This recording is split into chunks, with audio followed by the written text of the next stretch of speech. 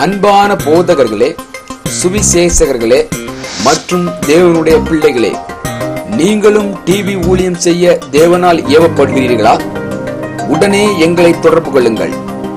எங்களுடைய cell number ஒன்பது எட்டு நான்கு ஒன்று நான்கு இரண்டு எட்டு நான்கு ஐந்து ஆறு nine eight four one four two eight four five six இவ்வூழியத்தில் நீங்களும் பங்கு பெற்று தேவனுடைய ராஜ்யை மகிமைப்படுத்துங்கள்.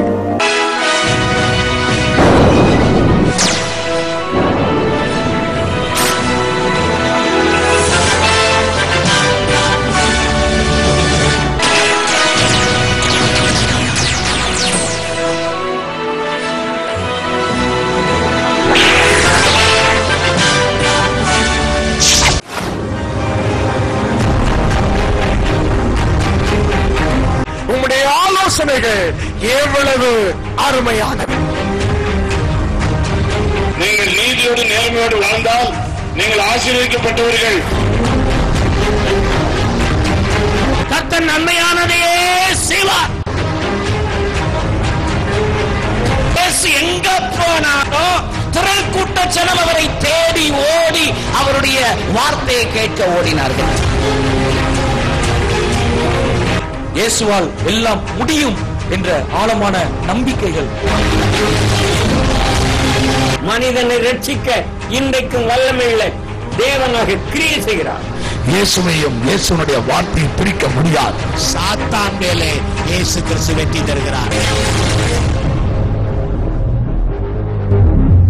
பரிசுத்த நாமத்திற்கு மகிமை உண்டாவதாக தமிழ்நாடு அசம்பிளிஸ் ஆஃப் காட் சபையில் வழங்கும் வாழ்வு தரும் இயேசு என்ற நிகழ்ச்சிக்கு உங்களை அன்போடு அழைக்கிறோம். இந்த நிகழ்ச்சியை நீங்கள் தொடர்ந்து பாருங்கள்.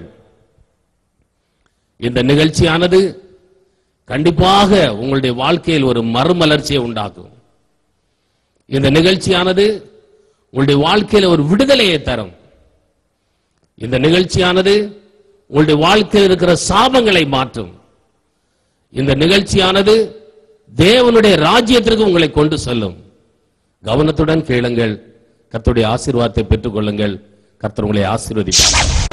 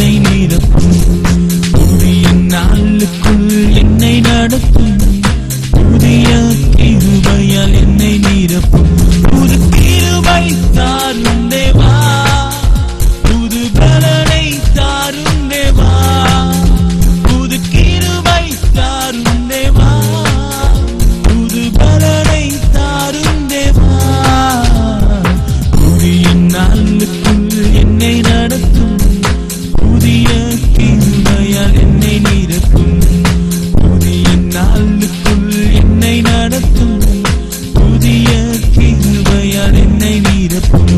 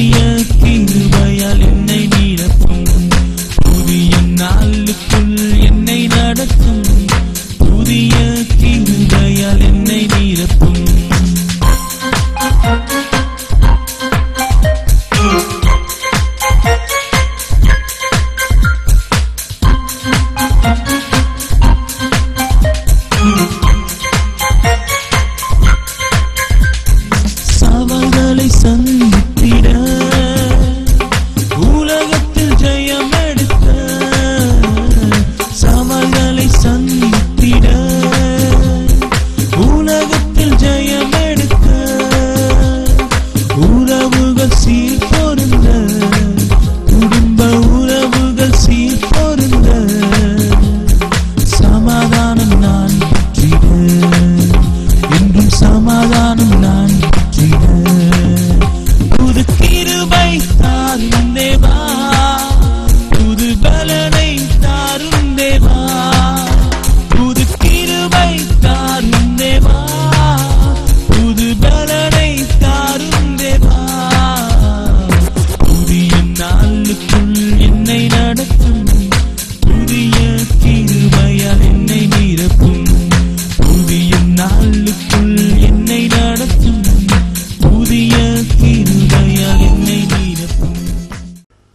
கிறிஸ்துவுக்குள் பிரியமானவர்களே வாழ்வு தரும் இயேசு என்ற தொலைக்காட்சி நிகழ்ச்சிக்கு உங்களை அன்புடன் வரவேற்கிறோம். இந்த காலை வேளையிலும் வேதாகமத்தில் இருந்து ஒரு முக்கிய பகுதியை உங்களோடு பகிர்ந்து கொள்ள விரும்புகிறேன். மார்க்கு சுவிசேஷம் பதிமூன்றாம் அதிகாரம் முப்பத்தி ரெண்டாம் முப்பத்தி மூன்றாம் வசனத்தை நாம் வாசிக்க கேட்போம். அந்த நாளையும் அந்த நாளிகையையும் பிதா ஒருவர் தவிர மற்றொருவனும் அறியான். பரலோகத்திலுள்ள தூதர்களும் அறியார்கள். குமாரனும் அறியார். அக்காலத்தை நீங்கள் அறியாதபடியால் எச்சரிக்கையாய் இருங்கள் விழித்திருந்து ஜெபம் பண்ணுங்கள். கிறிஸ்துவுக்குள் அன்பானவர்களே ஆதி நூற்றாண்டிலிருந்து இந்த காலம் வரைக்கும் உள்ள அனைத்து கிறிஸ்தவ பெருமக்களால் மிகவும் எதிர்பார்க்கப்படுகின்ற ஒரு முக்கியமான நிகழ்வு கத்தரா இயேசு கிறிஸ்துவின் இரண்டாம் வருகை. வேதாகமம் என்பது ஒரு தீர்க்க தரிசன புஸ்தகம். வரக்கூடிய நிகழக்கூடிய நிகழ்ச்சிகளை முன்னதாகவே தேவன் தமது ஆவியின் மூலமாக தம்முடைய பரிசுத்த தீர்க்கதரிசிகளுக்கு அவர் அறிவித்து அவைகள் மூலமாய் முன்னுரைக்கப்பட்டிருக்கிறது. ஆண்டவராய் இயேசு கிறிஸ்துவின் இரண்டாம் வருகை என்பது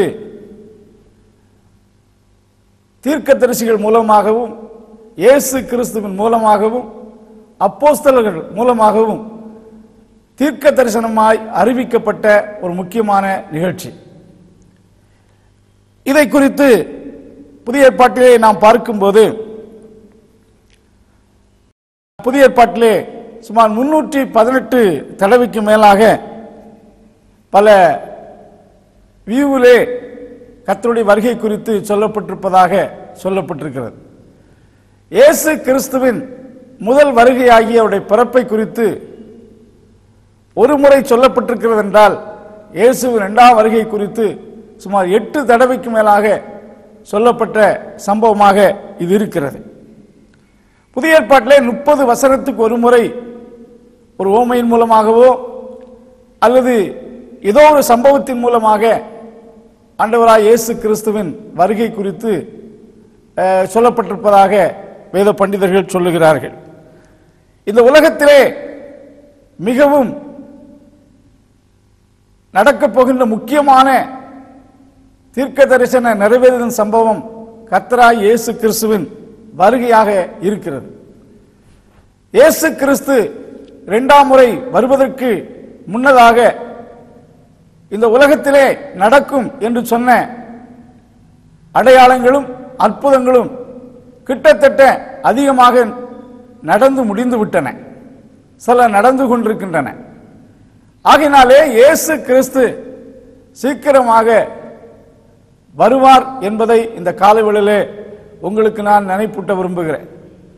வேதாகமத்திலே இதோ சீக்கிரமாய் வருகிறேன் என்று இயேசு அறிவித்திருக்கிறதை பார்க்கிறோம். ஆதி அப்போஸ்தல காலம் முதற்கொண்டு இந்த நாள் வரைக்கும் அது எதிர்பார்க்கின்ற எதிர்பார்க்கப்படுகின்ற ஒரு நிகழ்ச்சியாக இருக்கிறது. பக்கத்திற்கு மைமுண்டாவதாக ஆதி அப்போஸ்தல கால கிறிஸ்தவர்கள் தங்கள் காலத்திலேயே இயேசு வந்து விடுவார் என்று ரொம்ப ஆவலாக இருந்தார்கள். ஒவ்வொரு நாளும் இயேசு வந்து விடுவார் என்ற எதிர்பார்ப்போடு வாழ்ந்தார்கள். தாங்கள் நினைத்தபடி ஆண்டுடைய வருகை தாமதித்த போது பேதர் அப்போஸ்தலரிடத்திலே சிலர் கேட்டிருக்கலாம் இன்னும் இயேசு ஏன் வரவில்லை? என்று சொல்லி கேட்டிருக்கலாம். அவர்களுக்கு பதிலளிக்கும் விதமாக ரெண்டு பேதருக்கு நிருபம் மூன்றாம் அதிகாரம் ஒன்பதாம் வசனத்திலே இவ்விதமாக கூறுகிறார் தாமதிக்கிறார் என்று சிலர் எண்ணுகிறபடி அவர் தமது வாக்குத்தத்தங்களை குறித்து தாமதமாயிராமல் ஒருவரும் கெட்டு போகாமல் எல்லோரும் மனம் திரும்ப வேண்டும் என்று நம்மே நீடிய பொறுமை உள்ளவராய் இருக்கிறார் என்று சொல்லுகிறார். தாமதிக்கிறார் என்று கெட்டதான ஜனங்களுக்கு ஆண்டுடைய வருகையின் தாமதத்துக்கான ஒரு காரணத்தை அங்கே குறிப்பிடுவதாக பார்க்கிறோம். எல்லாரும் மனம் திரும்ப வேண்டும். ஒருவரும் கெட்டு போகக்கூடாது என்று அவர் தம்முடைய வருகை தாமதிப்பதாக அங்கே குறிப்பிட்டு சொல்வதை பார்க்கிறோம். இந்த ரெண்டாயிரம் வருடங்களாக ஆண்டுடைய வருகை எதிர்பார்க்கப்பட்டு வருகிறது. நிச்சயமாக இயேசு எந்த நேரத்திலும் வரலாம். இயேசு கிறிஸ்து வரக்கூடிய அந்த குறிப்பிட்ட நேரமும் நாளிகையும் ஒருவருக்கும் அறிவிக்கப்பட மாட்டார். நனையாத நேரத்திலே என்று வேதம் சொல்லுகிறது. அதை ஒரு பெரிய பரம ரகசியமாக வேதம் அறிவிக்கிறது. அன்பானுள்ளே எந்த நேரத்திலும் இயேசு வரலாம். காலையிலோ மாலையிலோ சேவல் கூவிடும் நேரத்திலோ எந்த நேரத்திலும் என்று சொல்லும்போது any time Jesus may come எப்பொழுதும் இயேசு வரலாம். ஆகையால் தான் கத்தருக்கு மைமுண்டாவதாக ஆதி திருச்சபை மக்கள் அவருடைய வருகையை மிகவும் ஆவலோடு எதிர்பார்த்து கொண்டிருந்ததாக வாசிக்கிறோம். ஒன்று தெசலோனிக்கர் ஒன்றாம் அதிகாரம் பத்தாம் வசனம் பிலிப்பிற்கு நிறுவம் மூன்றாம் அதிகாரம் இருபதாம் வசனத்தை வாசிக்கும் போது நம்முடைய குடியிருப்போ பரலோகத்தில் இருக்கிறது. அங்கே இருந்து அங்கே இருந்து கர்த்தராக இயேசு கிறிஸ்து எனும் ரட்சகர் வர இரட்சகராய் இயேசு கிறிஸ்து வர எதிர்பார்த்து கொண்டிருக்கும் எதிர்பார்த்து கொண்டிருக்கிறோம். அப்போஸ்தலனாகிய பவுல் உட்பட அனைத்து திருச்சபை மக்களும் அந்த நாளிலே எதிர்பார்த்து கொண்டிருந்தார்கள். ஆவலோடு கர்த்தருடைய வருகையை வாஞ்சித்து அதற்காக ஒவ்வொரு நாளும் காத்திருந்ததாக வேதத்தில் வாசிக்கிறோம். நபயத்திலே பார்க்கும்போது இவ்விதமாக ஒரு காரியம் சொல்லப்படுகிறது. ஆதி திருச்சபை மக்கள் ஒருவரை ஒருவர் சந்திக்கும் போது கூட நாம இன்றைக்கு பிரைஸ் தலாட் என்று ஒருவரை ஒருவர் சந்திக்கும் போது கிறிஸ்துவின் நாமத்தை மகிமைப்படுத்தும்படி சொல்வது போல அன்றைக்கு அவர்கள் மாறனாதா? இயேசு வருகிறார் என்று அவர்களுக்குள் இருந்த நம்பிக்கையை ஒவ்வொரு நாளும் ஒருவருக்கொருவர் பகிர்ந்து கொள்வதாக கூறப்படுகிறது. அன்பான அந்த அளவுக்கு இயேசுவின் இரண்டாம் வருகையை ஆவலாக அவர்கள் எதிர்பார்த்தார்கள். இயேசு கிறிஸ்துவின் இரண்டாம் வருகை குறித்து நாம் பார்க்கும்போது அதை ரெண்டு அவருடைய செகண்ட் கம்மியிலே ரெண்டு பார்ட்டாக நாம் வேதத்தை வாசிக்கும் போது அதை கற்றுக்கொள்ள முடியும்.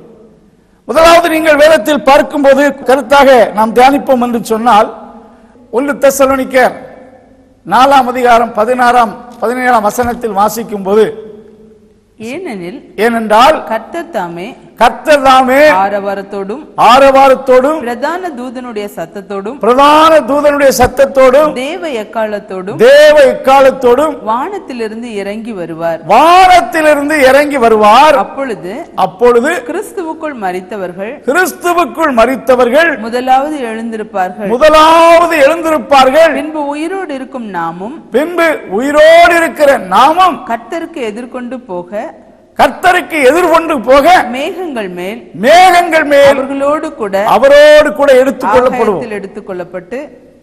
இவ்விதமாய் எப்பொழுதும் கர்த்தருடனே கூட இருப்போம். இங்கே ஆண்டவராய் இயேசு கிறிஸ்துவின் வருகையின் முதல் பகுதியில் முதல் பாட்டை குறித்து இங்கே சொல்லுகிறது. அவர் பிரதான தூதனோடும் தேவ இக்காலத்தோடும் வானத்திலிருந்து இறங்கி வருவார். அப்பொழுது கிறிஸ்துவுக்குள் மரித்தவர்கள் முதலாவது எழுந்திருப்பார்கள். உயிரோடு இருக்கிறவர்கள் மறுரூபமாக்கப்பட்டு ஆகாயத்தில் இயேசுவை சந்தித்து இவ்விதமாய் பரலோகத்துக்கு தேவனிடத்தில் எடுத்துச் செல்லப்படுவார்கள் கொண்டு போகப்படுவார்கள் என்று சொல்லப்பட்டிருக்கிறார் சோ இதை ரகசிய வருகை என்று சொல்லுகிறோம். இது இந்த உலகத்திலே மீட்கப்பட்ட தேவனுடைய சபையாகிய ஜனங்களை சேர்த்துக் கொள்வதற்காக வரக்கூடிய வருகை. இது ரகசிய வருகை. இந்த வருகை குறித்து தான் அப்போசனாகிய பவுல் ஒன்று குறைந்தியர் பதினைந்தாம் அதிகாரம் ஐம்பத்தி ஒன்றாம் வசனத்திலே இதோ ஒரு ரகசியத்தை உங்களுக்கு அறிவிக்கிறேன் என்று சொல்லுகிறார். இது ஒரு ரகசியம். தேவனுடைய பரம ரகசியம். நாமெல்லாரும் மறிப்பதில்லை கடைசி காலம் தொழிக்கும் அப்பொழுது மறுரூபமாக்கப்படுவோம் என்று சொல்லுகிறார். ஸோ இங்கே பரிசுத்தவான்களாகிய தேவனுடைய சபையை மீட்கப்பட்ட மக்களை எடுத்துக் கொள்வதற்காக ஆகாயத்திலே வருவதாக பார்க்கிறோம் இந்த வருகையின் செகண்ட் பகுதியை குறித்து நாம் பார்ப்போம் என்று சொன்னால் யூதாவுக்கு ஒன்றாம் அதிகாரம் வாசிங்கள். தமக்கு விரோதமாய் அவபக்தி உள்ள பாவிகள் பேசின. கடின வார்த்தைகள் எல்லாவற்றின் நிமித்தமும். அவர்களை கண்டிக்கிறதற்கும் ஆயிரம் ஆயிரமான தமது பரிசுத்தவான்களோடு கூட கர்த்தர் வருகிறார் என்று முன்னறிவித்தான் இந்த வசனத்திலே பார்க்கிறோம் முதலாவது அவர் தூதர்களோடு இறங்கி வருகிறார். பரிசுத்தவான்கள் ஆகாயத்தில் எடுத்துக் கொள்ளப்படுகிறார்கள். இந்த இரண்டாவது பகுதியிலே நாம் பார்க்கும்போது தேவரின் சகல பரிசுத்தவான்களோடு வருவீர் என்று வேதத்தில் வாசிக்கிறோம். அதை நாம் சகரியாவின் புஸ்தகம் பதினான்காம் அதிகாரத்திலே ஆறாம் வசனத்திலே நாம் பார்க்கும்போது தேவரீர் சகல பரிசுத்தவான்களோடு கூட வருவேன். ஸோ முதல் வருகையின் முதல் பகுதியிலே பரிசுத்தவான்களை எடுத்துக்கொள்ள வருகிறார். ஸோ அவருடைய வருகையின் செகண்ட் பகுதியாகிய அதை the visible coming of Jesus என்று சொல்லலாம். எல்லாரும் பார்க்கத்தக்க விதத்திலே அவர் ஒலிவ மலையில் வந்து இறங்குவார். வேதத்தில் வாசிக்கிறோம் இந்த உங்கள் கண்களுக்கு முன்பாக எப்படி எழுந்தருளி போனாரோ அப்படியே திரும்ப வருவார் என்று சொன்ன தீர்க்க தரிசன வார்த்தை நிறைவேறும்படி அவர் சகல பரிசுத்தவான்களோடு பூமியில் தன்னுடைய ராஜ்யத்தை எழுத்தின்படியாக ஸ்தாபிக்க வருவார் என்று சொல்லப்பட்டிருக்கிறார் இந்த இரண்டு வருகைக்கும் எடைப்பட்ட நாட்கள் சில ஆண்டுகள் குறிப்பாக ஏழு ஆண்டுகள் என்று சொல்லலாம். ஆண்டவருடைய சபையாகிய தேவ ஜனங்கள் பரலோகத்துக்கு எடுத்துக்கொள்ளப்பட்ட அந்த நாட்களில் சகல பரிசுத்தவான்களோடு கூட ஆண்டவர் ஆகாயத்திலே அவர்களுக்கு ஒரு சிறப்பு நிகழ்ச்சியை வைத்திருக்கிறார். அப்படி எடுத்துக்கொள்ளப்பட்டு இருக்கக்கூடிய அந்த காலகட்டத்தில் பூமியிலே அந்தி கிறிஸ்து என்று சொல்லக்கூடிய ஒரு அதாவது அந்தி கிறிஸ்து என்று சொன்னால் கிறிஸ்துவுக்கு எதிரான ஆன்டி கிரைஸ்ட் உடைய ஆளுகை நடக்கும். அதை ரெண்டு பகுதியாக பகுதியாக பிரிக்கலாம். முதல் மூன்று வருஷம் பின்னால் மூன்று வருஷம். அந்த நாட்களிலே அப்போஸ்தல அதாவது வெளிப்படுத்தல் புஸ்தகம் நான்காம் அதிகாரத்திலிருந்து பத்தொன்பதாம் அதிகாரத்துக்கு இடைப்பட்ட பகுதிகளில் சொல்லப்பட்டிருக்கின்ற தேவனுடைய நியாய தீர்ப்புகள் எழுத்தின்படியாகவே இந்த உலகத்தில் நடக்கும். அது மகா இக்கட்டு காலம். அது மகா உபத்திரவ காலம் என்று சொல்லப்பட்டிருக்கிறது. அந்த நாட்களிலே முக்கிய நம்பராக இருப்பது அறுநூத்தி அறுபத்தி ஆறு. எல்லார் மேலும் அந்த நம்பர் பொறிக்கப்பட வேண்டும் என்ற கட்டளை பிறப்பிக்கப்படும். அந்த நம்பர் தரிப்பிக்கப்படாதவர்கள் வாங்கவும் கொள்ளவும் முடியாது என்று சொல்லப்பட்டிருக்கிறது. அன்பானவர்களே அந்நாட்களில் கிறிஸ்துவை ஏற்றுக்கொண்டேன் என்று சொன்னால் கிறிஸ்துவை அறிக்கை செய்கிறவர்கள் பலவித இன்னல்களுக்குள் உட்படுத்தப்படுவார்கள். அது மகா கொடிய காலம்.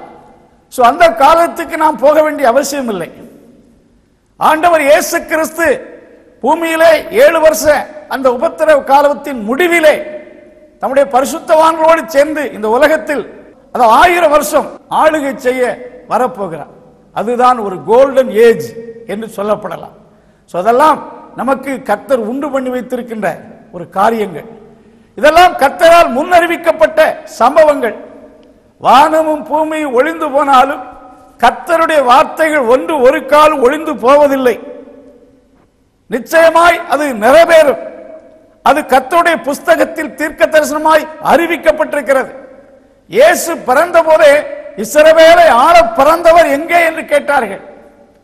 அவருடைய பிறப்பை குறித்து சொன்ன தீர்க்க தரிசனங்களிலே ராட்சி அத கர்த்தத்துவங்கள் அவர் தோளின் மேல் இருக்கும். இயேசு இதுவரைக்கும் இந்த பூமியில் ரட்சகராகத்தான் வந்தார்.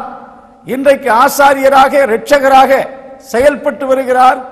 பூமி அனைத்துக்கும் அவர் ராஜாதி ராஜாவாக ஏற்கனவே நியமிக்கப்பட்டவர். அவர் ஆளுகை செய்வார். அதெல்லாம் தீர்க்க தரிசனம் நிறைவேறுதல் சம்பவங்கள். ஆனால் நாம் கர்த்தருடைய வருகைக்கு ஆயத்தமாய் இருக்க வேண்டும்.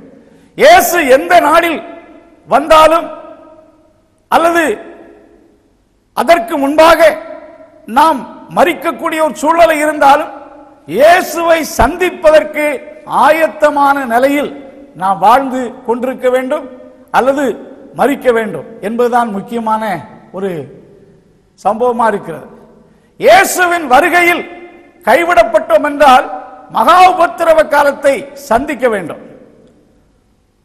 ஆண்டுடைய புஸ்தகத்திலே ஆண்டுடைய வருகைக்கு எப்பொழுதும் ஆயத்தமாய் இருக்க வேண்டும் என்று சொல்லப்பட்டிருக்கிற அனுபவங்களை நாம் பார்க்கிறோம். இயேசு கிறிஸ்துவின் வருகைக்கு நாம் ஆயத்தமாய் இருப்பதற்கு ஒரு நான்கு படிகளை உங்களோடு இந்த காலைவெளியிலே நினைப்பூட்ட விரும்புகிறேன். முதலாவது பார்க்கிறோம் இயேசு கிறிஸ்துவின் வருகையில் அவருடையவர்கள் உயிர்ப்பிக்கப்படுவார்கள் என்று ஒன்று பொருந்தியர் பதினைந்தாம் அதிகாரம் இருபத்தி மூன்றாம் வசனத்திலே வாசிக்கிறார். அவனவன் தன் தன் வரிசையில் உயிர்ப்பிக்கப்படுவான் முதற் பலனானவர் கிறிஸ்து பின்பு அவருடையவர்கள் அவருடையவர்கள் என்றால் கிறிஸ்துவுக்குரியவர்கள் கிறிஸ்துவை ஏற்றுக்கொண்டவர்கள் கிறிஸ்துவை சொந்தமாக்கி கொண்டவர்கள். தசலோனிக்கர் புஸ்தகத்திலே வாசித்தோம் கிறிஸ்துவுக்குள் மறித்தவர்கள் முதலாவது எழுந்திருப்பார்கள். அதாவது கிறிஸ்துவை ஏற்றுக்கொண்டு கிறிஸ்துவை தன் வாழ்க்கையில் இரட்சகராக ஆண்டவராய் ஏற்றுக்கொண்டு வாழ்கிறவர்கள் அல்லது ஏற்றுக்கொண்டு வா- கிறிஸ்துவுக்குள் மறித்தவர்கள் என்று சொல்லலாம். வேதத்திலே பார்க்கிறோம் இயேசு கிறிஸ்துவ ஒருவன் ஏற்றுக்கொள்ளும் போது அவன் புது சிருஷ்டியாய் மாறுகிறான். ரெண்டு குருந்தி ஐந்து பதினேழு வாசிக்கிறோம் ஒருவன் கிறிஸ்துவுக்குழுந்தால் புதிய சிருஷ்டியாய் மாறுகிறான். பழையவெல்லாம் ஒளிந்து போயின. அதைத்தான் இயேசு கிறிஸ்து ஒரு தன்னிடத்தில் வரக்கூடிய ஒரு மனிதனுக்கு கொடுக்கின்ற ஒரு பெரிய விலையேறப்பட்ட ஒரு மாற்றம் ஒரு ரட்சிப்பு. இதை அவன் பெற்றுக்கொள்கிறான். சோ கிறிஸ்துவுக்குள் வராத இயேசு கிறிஸ்துவை அண்டிக்கொள்ளாத அந்த நிலையில் இருப்போம் என்றால் கத்தருடைய வருகையில் நாம் எடுத்துக்கொள்ளப்பட முடியாது. தேவனுடைய ராட்சியத்துக்குள் பிரவேசிக்க முடியாது. தேவனுடைய நன்மைகளை சுதந்திரிக்க முடியாது. பொதுவாக உலகத்தில் எல்லாருடைய எண்ணமும் உலகத்தில் வாழக்கூடிய காலத்தில் உலகத்தில் எதையாவது சாதிக்க வேண்டும் என்ற எண்ணம் தான் உலகத்துக்குரியவைகளைத்தான் எல்லோரும் தேடுகிறோம். ஆண்டவர் இயேசுத்தம் முதலாவது தேவனுடைய ராஜ்யத்தையும் அவருடைய நீதியும் தேடுங்கள். அப்பொழுது உங்கள் தேவைகள் எல்லாம் கொடுக்கப்படும். ஸோ உலகத்தில் என்ன தேடினாலும் ஒரு காலத்தில் நாம் இந்த உலகத்தை விட்டு போக வேண்டும். உலகத்தை விட்டு நாம் போகும்போது தேவனுடையத்தில் போய் சேர வேண்டும். தேவனுடைய ராஜ்யத்தில் போய் பிரவேசிக்க வேண்டும். கர்த்தருடைய ராஜ்யத்தை சுதந்திரிக்க வேண்டும். கிறிஸ்துவுக்குள்ளாக நாம் வர வேண்டும். இயேசுவை அண்டிக் கொள்ள வேண்டும் என்பதை உங்களுக்கு நான் நினைப்பூட்டிக் கொள்ள விரும்புகிறேன். இரண்டாவது ஆண்டவர் சொன்னார் உம் மனுஷகுமாரன். மத்தை சுவிசேஷம் இருபத்தி நான்காம் அதிகாரம் நாற்பத்தி நான்காம் வசனங்களிலே மனுஷகுமாரன் வரும் நேரத்தையும் நாளையும் நீங்கள் அறியாதபடினால் எச்சரிக்கையாயிருங்கள் ஆயத்தமாயிருங்கள் என்று சொல்லுகிறார். அவருடைய வருகை குறித்த ஒரு எதிர்பார்ப்போடு ஒரு விழிப்புணர்வோடு நாம் இருக்க வேண்டும். இயேசுவின் வருகை குறித்ததான ஒரு அலாட்னஸ் ஒவ்வொருவருக்குள்ளும் இருக்க வேண்டும். விழிப்பாயிருங்கள் என்று சொல்லும்போது அது ஒரு வார்னிங் வேர்ட் விழித்திருங்கள் என்று சொன்னால் அதை குறித்து ஒரு அஜாக்கிரதையாய் இருக்கக்கூடாது. உன்னத பாட்டு புஸ்தகத்திலே அந்த சூலேமித்தியால் சொல்லக்கூடிய வார்த்தை பார்க்கிறோம். நான் தூங்கினாலும் என் இருதை விழித்திருக்கிறேன் அவள் தூங்கிக் கொண்டிருக்கும் போதே நேசருடைய சத்தத்தை கேட்கிறார் தூங்கிக் கொண்டிருக்கும் போதே நேச கதவை தட்டும் சத்தம் கேட்கிறது. ஸோ அதுபோல இந்த உலகத்தில் எந்த நிலையில் இருந்தாலும் தேவனுக்கு அடுத்த காரியத்தில் ஒரு விழிப்பா இருக்கக்கூடிய ஒரு அனுபவம் நமக்கு தேவை. மூன்றாவது ஒரு ஆயத்தம் என்று சொல்லப்பட்டிருக்கிறது. ஒன்று தெசலோனிக்கேர் ஐந்து இருபத்தி மூணுல கத்தராய் இயேசு கிறிஸ்து வரும்போது உங்கள் ஆவி ஆத்துமா சரீரம் மூன்றும் குற்றமற்றதாய் இருப்பதாக. ஸோ அங்கே நாம் பார்க்கும்போது ஒரு குற்றமற்றதாய் இருப்பதாக கத்ரா இயேசு கிறிஸ்துவின் வருகைக்கென்று ஒரு ஸ்பெஷல் ப்ரிப்பரேஷன் ஒரு ஆயத்தம் இருக்கிறது. வரும்போது நாம் ஆயத்தப்படுவதற்கான வாய்ப்புகள் யாருக்கும் கொடுக்கப்படுவதில்லை. ஆயத்தமாயிருக்கிறவர்கள் எடுத்துக்கொள்ளப்படுவார்கள் ஆயத்தம் இல்லாதவர்கள் கைவிடப்படுவார்கள்.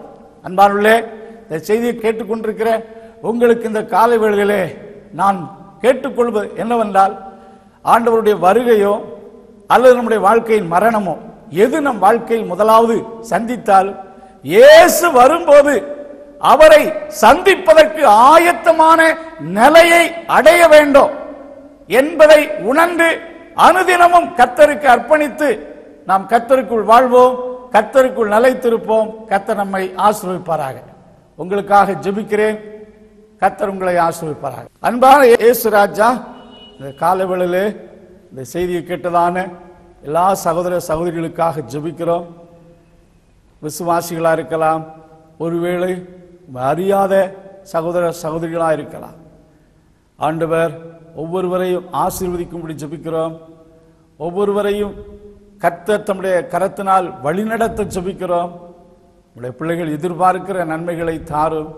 எல்லாரும் ரட்சிக்கப்பட வேண்டும் என்று விரும்பி தம்முடைய வருகையை ஆண்டவரே தாமதம் செய்கிற அருள்நாதர் இயேசுவே இந்த செய்தியின் மூலமாய் மனம் திரும்ப வேண்டியவர்கள் மனம் திரும்பவும் இந்த வருகைக்கு ஆயத்தப்பட வேண்டியவர்கள் ஆயத்தப்பட வேண்டும் என்ற ஒரு விழிப்புணர்வை கொடுத்து தங்களை ஆயத்தப்படுத்துவதற்கு வேண்டிய கிருபைகளை கத்தர் கொடுக்கவும் உலகத்தில் வாழக்கூடிய நாட்களில் நல்ல சுகத்தையும் பலனையும் கொடுக்கவும் கையிட்டு செய்கிற தொழில்களை ஆசிர்வதித்து எல்லாரையும் நன்மைகளால் முடிசூட்டவும் ஜெபிக்கிறேன் அப்பா.